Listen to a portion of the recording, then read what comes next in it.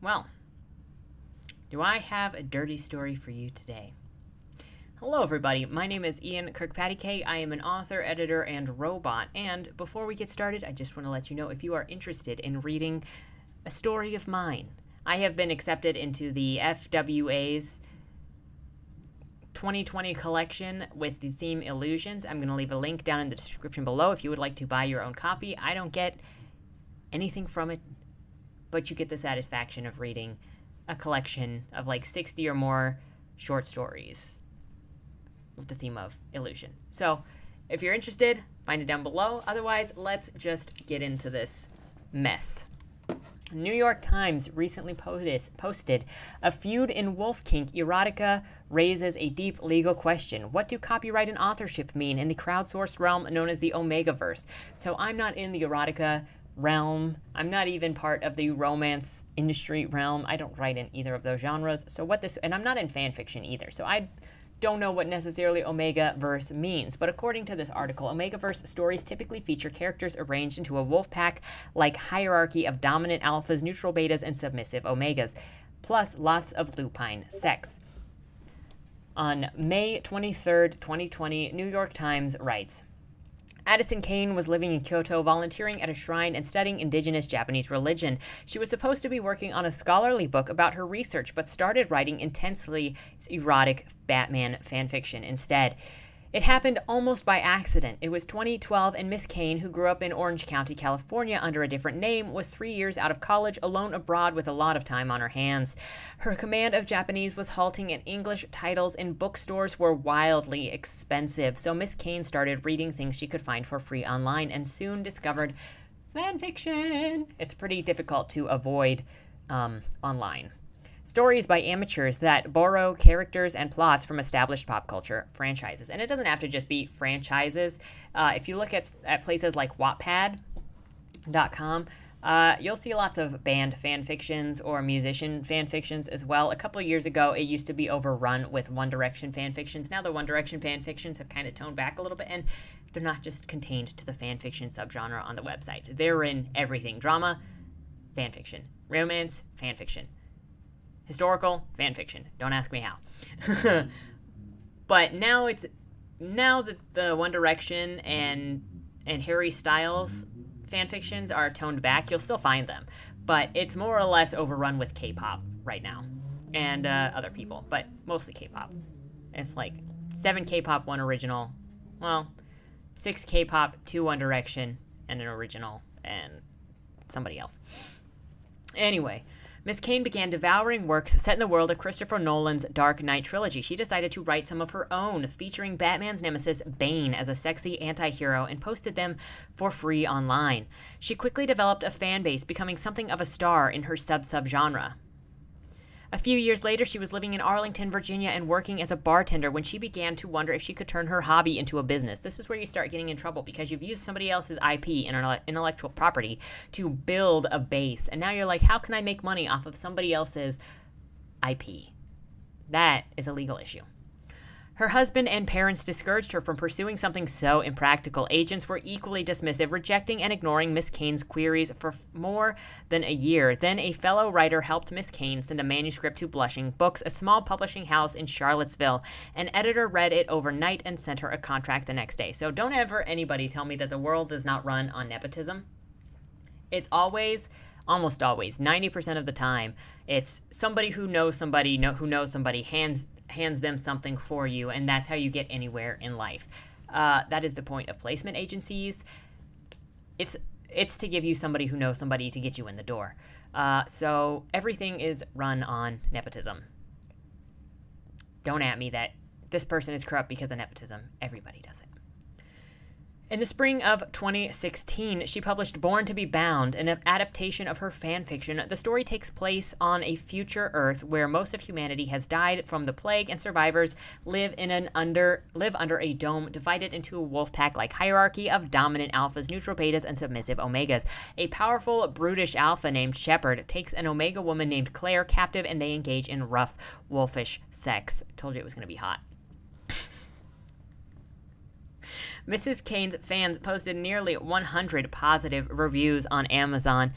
soaking wet probably, enough to get her some visibility. Quote, unapologetically raw and deliciously filthy, read one glowing blurb. The debut was a hit. She rushed out several more titles, and the series grossed more than $370,000, according to her publisher. Apparently, this is how I should get in. I should just fanfic, turn it into a wolf verse, and then retitle it. I need to be doing this to make money, you guys.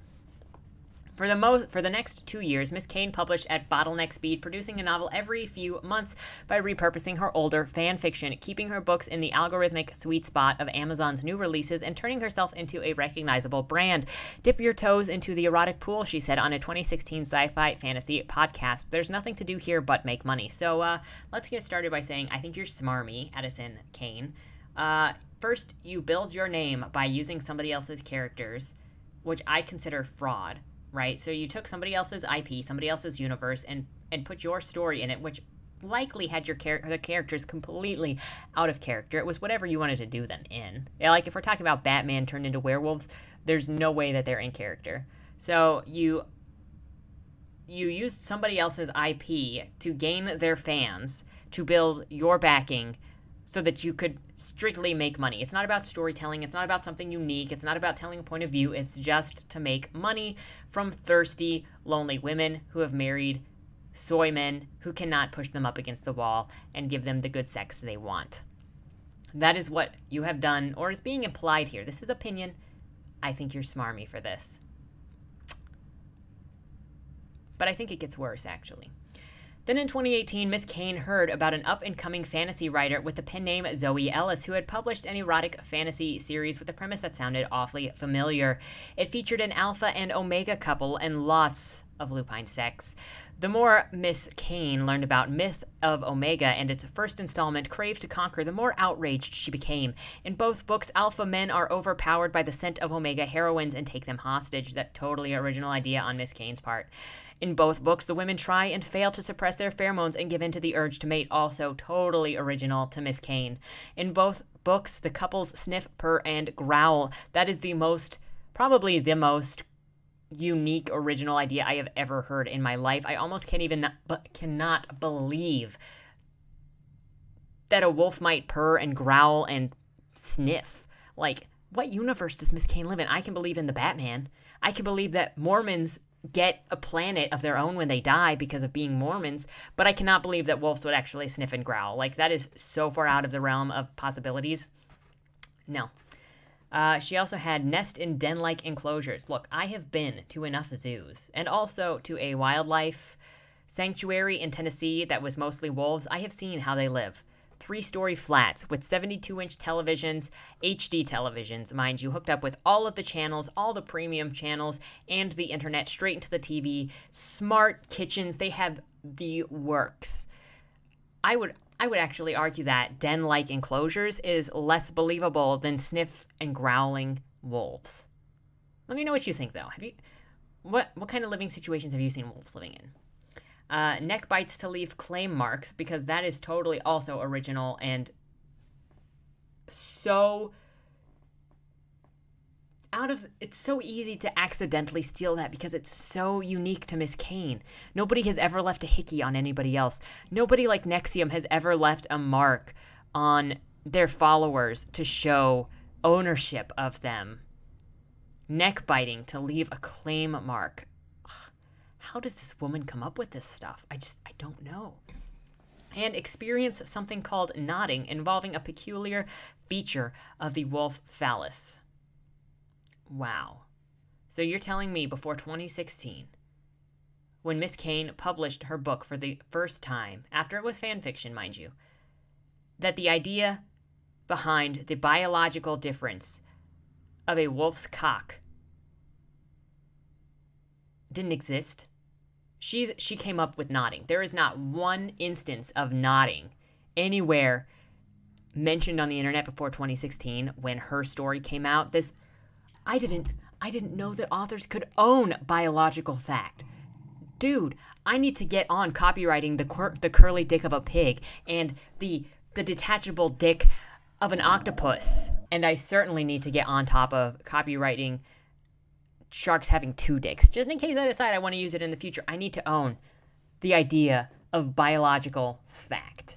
I should honestly, I should just go copyright the fact that men have dicks before uh, anybody else does. Just in case I ever want to do a story where a man has a dick, I need to stake my claim into that specific thing so nobody else can use it. Because it's so original, man. Sorry, God. I came up with that idea. Miss Cain urged Blushing Books to do something. The publisher sent copyright violation notices to more than half a dozen online retailers, alleging that Miss Ellis his story was a copy with scenes that were almost identical to Addison Cain's book. Most of the outlets, including Barnes & Noble, iTunes, and Apple, removed Mrs. El- Miss Ellis's works immediately. Miss Cain's readers flocked to her defense. This is a ripoff of Addison Cain, one irate reader wrote on Goodreads. So disappointed in this author, and I hope Miss Cain seeks legal charges against you for stealing her work. Shame on you. So this reads a lot to me like the situation with Courtney Milan, where you cultivate an online following because they're super easy to get emotional. Uh, you build a passionate following, and then you use them to take down your opponents or people who are kind of writing the similar thing as you or people who just you don't like for whatever reason. Maybe they're in your genre, maybe you just don't like their ideas, maybe you don't like who they voted for and you use your following to attack those people and get them taken down. What's extra smarmy about this is uh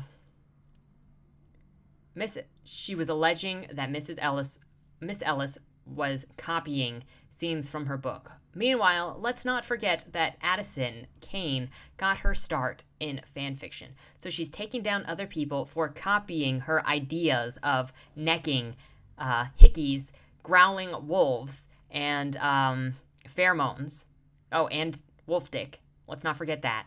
The biology of wolf dick. She's getting mad at people for but her whole start was copying other people's characters and universes to build an audience. Can you get any nastier than this? It's hard to imagine that two writers could independently create such bizarrely specific fantasy scenarios. It's really not that bizarre if you know anything about werewolf and furries. As it turns out, neither of them did. Both writers built their plots with common elements from the booming fan generated body of literature called the Omegaverse. I'm assuming that it's like a very specific type of werewolf universe because none of those alpha, omega marking wolves belongs to anybody specifically. Like you could have that in so many other things outside of an Omegaverse because it's just animalistic. The dispute between the dispute between Miss Cain and Miss Ellis is a kink laden microcosm of tactics at play throughout the fanfic industry. As the genre commercializes, authors aggressively defend their livelihoods, sometimes using the 1998 law, the Digital Millennium Act, Copyright Act, to get online retailers to remove competitors' books. Smarmy move. Let's just take down other people writing the same thing as me so people don't have a choice and they have to choose me. Garbage. You're a garbage person if you do this.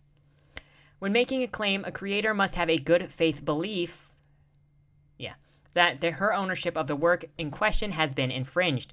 But does that mean when the ultimate source material, what does that mean when the ultimate source material is a crowdsourced collective. The question has members of the Omegaverse community choosing sides between Miss Cain and Miss Ellis, as will a federal judge in Virginia who is considering whether the allegations and consequences merit a payout of more than a million dollars. Short answer, it doesn't. I hope the judge does not rule in Miss Cain's side because she does not own any of the things she's claiming she owns. This is not the only time this sort of thing has happened, though, as there have been battles over ownership within the SCP. Uh, collective crowdsource thing. SCP is more of a horror thing with little monsters, big monsters, too, all sorts of monsters, and creatures, weird things, artifacts, self inserts now because it's gotten so big that people are self inserting themselves into the situations. Um, of dangerous or mundane creatures that are just outside of the norm and they have been captured in a lab and they're held in a lab for safety, blah, blah, blah and people trying to claim ownership of that when it's a crowdsourced collective thing. New York Times writes, Welcome to the Omegaverse, where men can get pregnant. To untangle, oh yeah, it's weird. It's weird stuff when you really get into the deep romantic side of, uh, fanfic side of the internet. To untangle the Omegaverse fight, it helps to understand its origins in a parallel literary universe, the vastly unruly, diverse, exuberant, and often pornographic world of fanfiction. After getting its start decades ago in Star Trek zines, fanfic mushroomed when the internet made it easy for especially dedicated consumers of pop culture to find and create stories for one another. There are now subgenres upon subgenres, from Slash, where two male characters pair up romantically, such as Sherlock Holmes and Watson, to otter fare like Mundane AU, an alternative universe where magical characters live in real world, a e.g., Harry Potter goes to a regular boarding school and has normal problems. There's a very famous Harry Potter fan fiction called My Immortal. It's terrible. It's famous for how terrible it is. While some traditional authors have derided fanfiction writers as creative parasites, there isn't really any way to stop them. Such works are legal as long as writers post them for free and don't try to sell stories based on copyrighted material, which is what makes a lot of these people even more smarmy is they know what they're doing is illegal and they change it just slightly enough to make it not illegal. But I I would agree not so not all fan fiction writers are parasites in my opinion because i consider stuff like you know the silent hill movies the muppet movies that are more recent anything that is in an established universe but not by the original creator is a form of fan fiction so even if uh, an author is alive let's say the hbo um, game of thrones because the writer is still alive but he didn't necessarily write the television show so the television show is fan fiction of the book because it's not by the original author. And so when it diverts from what the original author did, it's not so bad because you're like, well, this is somebody else's take on what they wanted to see happen anyway. Uh, I didn't watch the show, I don't care. But that's fan fiction for me. So not everything that's fan fiction is bad. However, when you've got these people that write specifically, especially um, erotic stuff and romance stuff using your name, your recognizable characters, your universe in order to bleed fans off of you to them for their work. That is parasitic. When they create a fan base from your name recognition and your character recognition and then boost that into sales for them, that is parasitic. And that is smarmy. It's legal, it's smarmy, and you're a bad person for doing it. But too much money was at stake for the genre to remain amateur forever. E.L. James' blockbuster series Fifty Shades of Grey, which sold more than 150 million copies, started as a fanfic based on Stephenie Meyer's Twilight Vampire saga. I would say inspired by, because there's really nothing in common between the two. But again, it's just thirsty women writing scenes, and it's it's even weirder, I think, for stuff like Fifty Shades, which was inspired by a story about teenager, a teenager, and it was entirely sexual. So there's that. Uh, by swapping out copyrighted characters for nominally original ones, a practice known as filing off the serial numbers, which people should take that as being this is kind of illegal. Uh, fanfic writers like Miss James, Christina Lauren, and the cheekily named Tara Sue Me have leapfrogged from uh, leapfrogged into for-profit publishing. So uh, that should also let you know that you're a smarm. That is your cohort right there. As more fanfiction writers cross into commercial publishing, turf wars have erupted. Fanfiction made authors and publishers realize that there was a thriving market for the stuff, said Rebecca Tushnet, a copyright expert at Harvard Law School. There's much more of it, and there's more opportunities for conflict. The specific fanfic universe that spawned the Cain Ellis dispute emerged about a decade ago when devotees of the CW drama Supernatural began writing stories in which the two lead actors are lovers. They're brothers in the show, mind you. One would be the dominant alpha male, the other man would be feminized omega, often with the ability to become impregnated, a trope known as impreg. It's a lot more widespread than you might think. Canine and then lupine sex stuff got mixed in. It's all just super horny, thirsty women who are either single or married to a soy boy. The premise was wildly popular, and tropes were rapidly adopted by writers in other fandoms, including NBC's Hannibal. We're sexualizing Hannibal here, you guys. I'm just imagining somebody being so obsessed with Hannibal now that they make him pregnant, but he was probably the one raping somebody and making them pregnant, to be honest with you and MTV's Teen Wolf. The sprawling body of work that followed came to be known as the Omegaverse, with its own rules, plot elements, and terminology. It sounds just like a genre, honestly. Some Omega verses, some Omegaverse stories involve lyco- lycanthropes. I always, it's okay, it's okay. I got it. Lycanthropes, which are werewolves, vampires, shapeshifters, dragons, space pirates. Other features, others feature regular humans. But virtually all Omegaverse couples engage in wolf like behaviors. Alphas rut and omegas go through heat cycles, releasing pheromones that drive alphas into lusty frenzies. This is obviously inspired by uh, the very popular female fantasy of rough sex and rape, where they want the sex, but they don't want to want the sex for purity reasons, or they want the rough sex. Rape is one of the highest in female fantasies, mind you, according to psychological studies. One particular physiological quirk that that's ubiquitous to Omegaverse stories called knotting comes from real features of wolves' penises, which swell during intercourse, causing the mating pair to remain physically bound to increase the chance of insemination. And yet, here we have Miss Cain saying that she claims that as something that is hers, that other people are copying and stealing from her. Biological fact, you guys. Biological reality is being claimed as ownable by one person who first published her knockoff story in 2016. Yes, I'm going to be mean. She's suing people and taking down other stories for unoriginal ideas, she's claiming. The appetite for such tales is large and growing. In the past decade, more than 70,000 stories set in the Omegaverse have been published on the fanfiction site Archive of Your Own. That's what it is. As it became more popular, the Omegaverse transcended individual fandoms and became an established genre on its own. Writers began publishing Omegaverse stories with original characters and settings, and authors started to publish them for profit. On Amazon, there are hundreds of novels for sale, including titles like Pregnant Rockstar Omega, Wolf Spirit, a Reverse Harem Omegaverse Romance, and Somebody to Love, an MM Impreg Shifter romance, an improbable tale involving an alpha male who can trans transform into a rabbit. I know. Horny women are insane. Like, you get the cat ladies, or you get these ladies, or you get like a combination of cat ladies and insanely horny, want to get knotted ladies. This was a thriving commercial backdrop to Mrs. Cain's allegations that Miss Ellis stole her material. Miss Ellis thought that the claim was absurd and was prepared to say so in court. This is like me saying, "Okay, I would I'm going to write a story about a princess in a tower being saved by a prince, and then they go and get happily ever after married. Okay, now that I've written that story, I'm going to claim that trope as my own. I came up with that. It is mine. And any story that exists in the universe that has the story of boy meets girl in tower or desperate situation and then they live happily ever after. That is mine. Anybody that copies it is infringing on my rights and steal stole my story and I can take them down legally. Do you see how insane that is?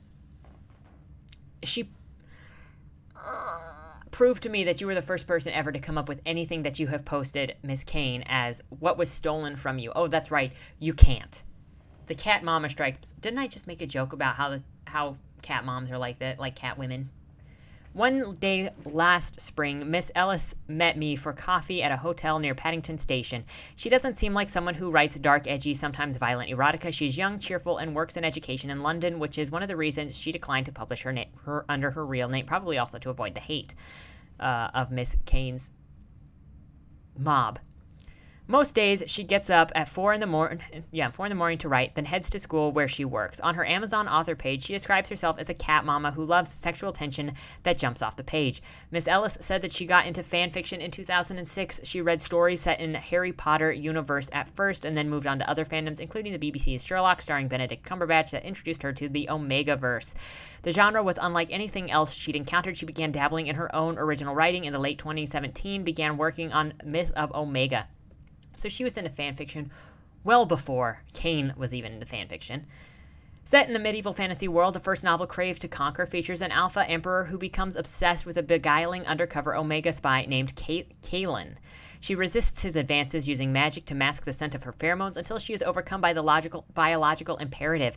To appeal to other Omegaverse and dark fantasy romance fans, Miss Ellis built the narrative around standard genre elements, the wolf-like ticks of mating, in mating and an edgy, a dominant, submissive dynamic. In fanfiction terminology, some of the sexual scenarios are labeled dubcon or dubious consent. Yeah, there's a lot of that. There's it, it blows my mind so often how many people get really really mad at like rape or not not necessarily straightforward consent in in mainstream stuff like not stopping to go hey are you okay with this okay yeah then let's go there's so much rage on Twitter and on regular social media about mainstream stuff that they think is crossing the line into rape.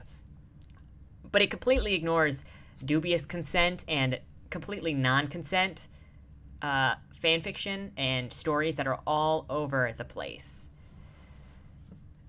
So much Japanese content is straight up non con. You have to make sure to use the tropes of the Omegaverse in order to be considered by fans of the genre, which is pretty typical of every genre. Ask anybody who writes in romance, you have to appeal to the romance tropes, or else, no, it's not romance. Miss Ellis said Crave to Conquer and its sequel, Crave to Capture, were published in early 2018 by Quill Ink Books, a London company she founded. Readers gave the series glowing reviews on Goodreads and Amazon, calling it sensational new Omegaverse and the best Omega yet. In late April 2018, Miss Ellis got an email from a reader who had ordered one of her books from Barnes & Noble, then learned that it wasn't available anymore. She soon discovered that all of her bo- Omegaverse books had disappeared from major stores, all because of a claim of copyright infringement from Cain and her publisher. Miss Ellis found it bewildering. Quote, I can't see how a story I had written using recognizable tropes from a shared universe to tell a story that was quite different from anything else out there commercially could be targeted in that way, Miss Ellis said. There are moments and scenarios that seem almost identical, but it's a trope that can be found in hundreds of stories. It's true. Like being attracted to pheromones, not unique even even to the omega verse it's not the only place that you're going to see somebody being pulled to uh, to a, a pheromones uh, one of my favorite, one of the favorite powers that I discovered some years ago, just to toy with, and I've never used it in any of my writing, but it was pheromonal inclination, and it was being able to manipulate your pheromones in order to control somebody else. Uh, I talk about this in my book review discussion, whatever, of um, perfume, where the whole thing behind his character drive is the pheromones and personal scent. And he is drawn to all of these maidens because of their perfect pheromones that he then creates the perfect scent for himself from their pheromones. It's not a unique idea and it's not a copyrightable idea. It's biology. It exists. A lawyer for Miss Ellis, Miss Ellis and Quill, Quill, sorry, filled counter notices to websites that had removed her books. She took some weeks to restore the titles. Some week some took weeks to restore the titles, others took months. There was no way to recover the lost sales. As a new author, I was building momentum, and that momentum was lost, Miss Ellis said. And she worried that the plagiarist label would permanently mar her reputation. It's that's kind of one of the things that's wrong with doing one of the extra things that's wrong with doing this is you have to one so Cain knew that you do rapid release in order to build uh, a base and show up in the sales, right, to build your brand. So she stopped Ellis from being able to do that. She also got Ellis's name. If you look up, if you if you Google her, she's going to show up next to plagiarist. She's going to show up next to this dispute, copyright claims, her fight with what's her face claiming that she stole stories. So she's going to be marred with that until she creates a new name and disassociates herself with the other name. And still, that could follow her. So what Ellis, what Cain is basically doing to Ellis is trying to destroy her ability to write in this genre that Cain, Addison Cain, apparently wants to wear the crown in and choose who gets to write it and who doesn't get to write it. Because she's not throwing copyright claims against everyone. Just apparently this one and probably a couple other people. Who knows how many people she threw this at. Miss Ellis decided to sue. Everything would have been in question. My integrity would have been in question. My ability to write and tell stories, all of that would have been under threat if I didn't challenge these claims. In the fall of 2018, Quill Ink filed against Blushing Books and Miss Cain in federal court in Oklahoma, where Miss Ellis's digital distributor is based, seeking 1.25 million in damages for defamation, interfering with Miss Ellis's career, and for filing false copyright infringement notices. In the suit, Quill's lawyers argue that, quote, no one owns the Omegaverse or the various tropes that define Omegaverse, end quote. Miss Ellis's lawyers thought that they had a strong position, but they struggled to find a prior case that addressed whether fanfiction tropes could be protected by copyright. Tropes cannot be protected by copyright. You cannot have somebody own the chosen one. You cannot have somebody own their parents got murdered and so they're an orphan. You cannot have somebody own going on a quest. There is no way to own a trope. It's a type of storytelling. You cannot have somebody own love triangles. How insane is this? We are working at cases to see if the court, and they're not even like this is on based on fan fiction. Be suing guys that are using fan fiction. How do you think that you can copyright claim a trope but can't copyright claim fan fiction? We're looking at cases to see if the courts had ever dealt with anything like this before, dealing with the emergence of this new literary genre, said Gideon Linscomb, a lawyer who represents Quill Ink and Miss Ellis. We found there weren't any. Well, there, sh- there shouldn't be, again, any claim over a trope maliciously weaponizing the DMCA. The intense rivalry isn't limited to writers of the Omegaverse. As online publishers have gotten more competitive, there are millions of ebooks available on Amazon, up to 600,000 in 28. 2014, some genre authors have grown aggressive in their efforts to dominate their literary niche. So, again, it's a bunch of greedy people trying to shut down others writing in their genre so that they can just corner it by legally trying to take other people down for telling stories. Focus on craft. Just tell a good story and you'll bring people back without having to try to shut up other people. You're a bad person. And I do not have a problem telling you if you do this, you're a sick, nasty person. Get over yourself. Last year, an author who wrote a popular romance subgenre called reverse harem high school bully romance, a trope in which a teenage female character has several aggressive male suitors, claimed that another author had copied her book and demanded the removal of them. You know how many. The harem romance is itself a trope. The reverse harem is also a trope. Falling in love with bo- enemies to lovers is also a trope. No. You're a bad person. The accused author briefly removed her works from Amazon but restored them after consulting a lawyer. This is like the bigger problem with I would say maybe the second biggest problem with self-publishing. First problem is you have all these people publishing stuff that have no business publishing anything because they're not checking the storylines, they're not checking the writing, the grammar, the spelling, anything. They're just putting anything out there to try and make money and maybe to try to get famous and get a movie.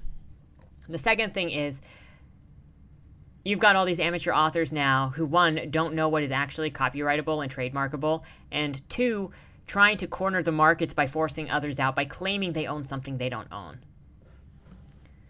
It's so unprofessional. Other authors have tried to use trademarks to go after their rivals. It's...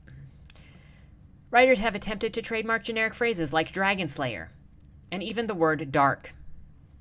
Yeah Try taking down a bunch of people for using Dark and Dragon Slayer in their respective genres. It's so sick. In 2018, the self published romance author Faleena Hopkins caused a scandal after she registered a trademark for the word cocky and sent infringement notices to other romance authors who used the word in their title. Amazon temporarily removed some books, including her cocky firefighters and her cocky doctors. After suing several people unsuccessfully, Miss Hopkins backed down. Let's also not forget that Ohio State University, the state of Ohio, I think it was the state of Ohio, tried to copyright the word the and said that was part of their brand, and they so they deserve to own the word the. Just stop it, you greedy bastards. That's all you are. Like Cockygate, the Omegaverse case reveals how easily intellectual property law can be weaponized by authors seeking to take down their rivals. Under the Digital Millennium Copyright Act, Individuals or companies can send takedown notices to retailers as long as they have a good faith belief that their work has been infringed. Retailers are protected from being named in related litigations if they remove the materials, and many websites comply with DMCA's. Without even investigating the claims, legal experts say the system is easily abused. Well, no duh. This has been also been happening on YouTube for a while now. We've seen lots of people sending DMCA notices when it's pretty obvious that they didn't think there was a copyright infringement, said Mitch Stoltz, a senior staff attorney for the Electronic Frontier Foundation, a nonprofit digital rights group. There's not much accountability, so there needs to be some kind of punishment for false DMCA claims, honestly. On May 21st, just like there needs to be uh, some punishment for false rape claims. On May 21st, the U.S. Copyright Office released a report detailing how the 22 year old DMCA has failed to keep pace with the NR, NR, NR, anarchic, anarchic digital ecosystem as online platforms have been overwhelmed by the crushing volume of takedown notices. Between 1998 and 2010, Google received more than 3 million such notices. In 2017, the company got more than 880 million, an increase of more than 29,000%, according to the report. Stop. You people need to stop it. You're out of control and power hungry. You're disgusting. We need to bring back public shaming. Many requests are legitimate, but the report notes that other motives include anti competitive purposes to harass a platform or consumer, or to try and chill speech that the rights holder does not like. Amazon agrees that it's a problem. At the rise of self publishing has produced a flood of digital content, authors frequently use copyright notices to squash their competition. During a public hearing hosted by the U.S. Copyright Office in 2016, Stephen Worth, Amazon's Associate General Counsel said that the fraudulent copyright complaints by authors accounted for more than half of the takedown notices the company receives. We need to fix the problem of notices that are used improperly to attack other works maliciously. In the Omegaverse case, Ms. Cain's claim of copyright infringement against Ms. Ellis has struck some as especially tenuous. Quote, they are not very original, either of them, said Christine Busse. I would actually say the same thing. You're just using tropes and playing on um, a popular, thirsty genre. Just like, you know, average slash poor girl meets billionaire. It, it's a trope. I mean, it's not insanely. It, that's one of the things that makes it so easy to write and to sell. It's because people go in for something specific and they want something specific. You know how to give it to them. They pay for it again and again and again. It's not revolutionary, people the author of Framing Fan Fiction, who has written academic essays about the Omegaverse and submitted expert witness testimony in the case of Miss on Miss Ellis's behalf. They both stole from fandom or existing tropes in the wild. Thank you, Christina. Intellectual property experts say copyright protection applies to the expression of ideas through particular phrasing but doesn't cover literary tropes and standard plot points. Yeah, because you cannot copyright an idea. Like, that's what this falls into. For uh, Ellis's lawyers, if this is still in litigation, you cannot copyright ideas technically, see, so I went through this when I was looking up stuff for um, any issues I might run into with Dead End Drive, because that was inspired by a board game from 1993, okay? Uh, and according to copyright, they can only copyright the art style and the rule book. I can make the game over completely. It can be exactly the same, except I have to bring my own art and my own literature. You cannot copyright an idea. That is why you have so many knockoffs of the same thing. Because somebody sees something successful and they like that idea, so they take it for themselves. We see it in products, we see it in books, we see it in movies, we see it in everything. You cannot copyright an idea. A trope is an idea. Use that in your argument. The writers of a crime novel, for example, can't copyright the notion of a body discovered in the first act and a killer getting caught in the end. But the Omegaverse case is likely the first time these legal arguments have been invoked in a dispute over works that grew out of the corpus of fan fiction generated informally by thousands of writers. It doesn't matter, it's an idea. I don't see how, how it came to be or where it comes from affects the fact that you can't copyright an idea. In fact, and these tropes exist outside of fan fiction, so stop saying that it belongs to fan fiction. In fanfiction, the sharing of tropes and story parts and plot lines is free flowing, said Anne Jamison, a fanfic expert and associate professor of English at the University of. I cannot believe that we have fanfiction experts who is skeptical of the notion of that Omegaverse tropes could be copyrighted. They can't. I don't know how many times I have to say they can't. I'm just getting pissed off. And I know I'm repeating myself, but it's annoying as frick. There's a blurry line between what is specifically yours and what is somebody else's. Hello, characters are yours, ideas are not yours. I can see somebody write a good book and go, I love, freaking love that idea. I want to do it myself, and then see what happens. Can't do anything. Even if I blatantly rip off their idea, can't do anything as long as I do it my own in my own words. Yep. I don't want her to make any more money. Miss Ellis wasn't the first Omegaverse figure Miss Cain accused of plagiarism. In March of 2016, she wrote a Facebook post charging that another author, who wrote under the name Dragon's Maiden, had copied at least 15 plot points from her novel Born to Be Bred. Born to, yeah. In a message to Miss Cain, which Miss Cain posted on Facebook, the Dragon's Maiden denied that she had stolen anything and argued that there are some similarities, but honestly, I believe that they don't go beyond be, uh, common lycan traits and actual wolf behaviors. But after being called a plagiarist in online comments, the Dragon Maiden, who lives in Wisconsin, removed her stories from the internet. Her fans came after me, even though our stories, other than being Omegaverse, were nothing alike. She said in an interview again, You're creating a passionate mob that you can stoke up to attack people you don't like and scare them off the internet. Social media is such a disease, really. Two years later, Miss Cain and her publisher filed DMCA takedowns uh, requests against Miss Ellis's first two Myth of Omega books. Miss Cain also asked her publisher to file an infringement notice against Miss Ellis, uh, or an Ellis novel that hadn't been published yet. Garbage. Both th- Bo- uh, book three needs to come down to. I don't want her to t- make any more money off of this series. Miss Cain wrote to Blushing Books in April, according to the court file. She doesn't even know if anything in that book is plagiar- plagiarized because she hasn't read it. She's just attacking somebody up front so that they don't have to so they don't have a chance to get in the door of the the genre that she works in. Disgusting. She also wanted to stop Miss Ellis from publishing a new spin off series of Omega's Verse books and emailed her publisher asking what they could do. Bethany Burke, the publisher of Blushing Books, was skeptical. The problem is, as you say, you do not own Omegaverse. I don't know what mechanisms we can use to shut down completely as an author unless you want to try to trademark Omegaverse, which we might be able to get. No. What the frick? You cannot. You cannot copyright a trope. That message, produced in Discovery, probably won't help Miss Cain's chances in court, thank God. She has not always been on her own best advocate. In the de- uh, deposition last year, Miss Cain said that the overlap between her books and Miss Ellis's series went beyond the Omegaverse elements. Quote, it has nothing to do with tropes. It has nothing to do with Omegaverse. It has to do with plot similarities. Can't, again, I can copy somebody else's book as long as I do it in my own words. It doesn't matter. But when she was asked to cite specific examples, she said that she couldn't recall any, adding that she hadn't done a close comparison because it was too upsetting. Quote, It was hard for me to read them side by side, honestly, because I felt very violated, she said. This is an argument against women doing anything other than working in the kitchen, honestly. I, I can't point to any actual violations because my feelings. There are no violations.